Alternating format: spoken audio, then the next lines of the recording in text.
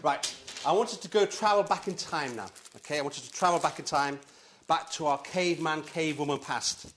And uh, your long, long, long, long relative, your great, great, great, great, great, great grandma, who used to go out and hunt for all sorts of creatures in the river otter and they'd see some fish there and think, I've got to get that fish.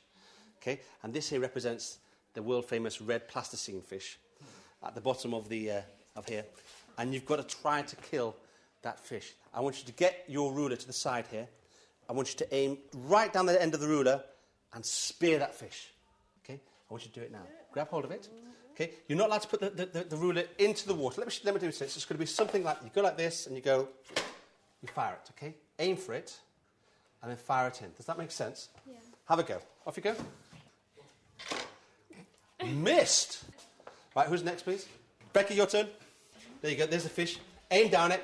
As a sports college, you'd hope we'd be able to do this quite well, wouldn't you? You got it inside? Did you get it? No. Missed it. Because where you think it actually is, it isn't really there. I promise you, it isn't there. Because water is making the light do something bizarre. Okay? Yeah. Is it bending? It is bending it. As proof of the pudding, what we need to do is if we put a whole load of rulers here at an angle like this, there's nothing, there's no, nothing special about these rulers, but if I put them in like that, and then you guys do the same there, what do you notice about the rulers? They're all missing the fish. Can, can you see that the ruler's actually bent? Are the rulers really bending? No. They're not bending, but the water is doing something strange to it. Okay? When, when dealing with children who've got specific problems in communication, we always have to be pushing the children slightly beyond their comfort zone to develop them and to harden them to this. I find that it works very, very well to do small group work individually, asking closed questions on occasions, and sometimes opening the questions to get more confident. And once those children have got the right answer, it is actually quite nice then to invite them into the general conversation because you know that child has said something. There was a, a very interesting question at one point when a student was asking what damage did UV do to the skin, and I gave him an answer, but then I drew him into the whole class conversation as well.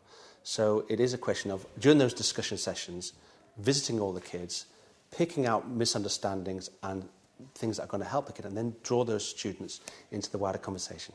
Here's something else I can show you that really, works really, really well.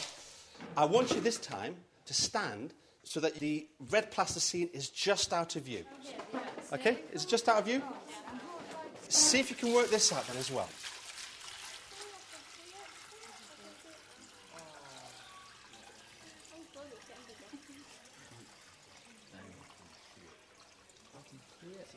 Yeah? Yeah, I So- can see the whole thing now. See the whole thing? That is Yeah. cool. Right, head back to your tables, please, folks.